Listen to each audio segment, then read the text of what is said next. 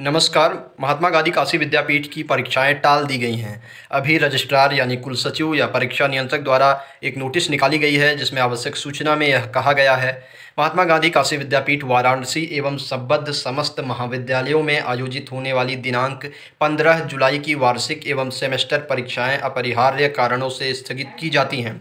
उक्त दिवस की परीक्षाएँ दिनांक 17 जुलाई 2021 को अपने पूर्व निर्धारित समयानुसार संपन्न होंगी। शेष परीक्षाओं का कार्यक्रम यथावत रहेंगे।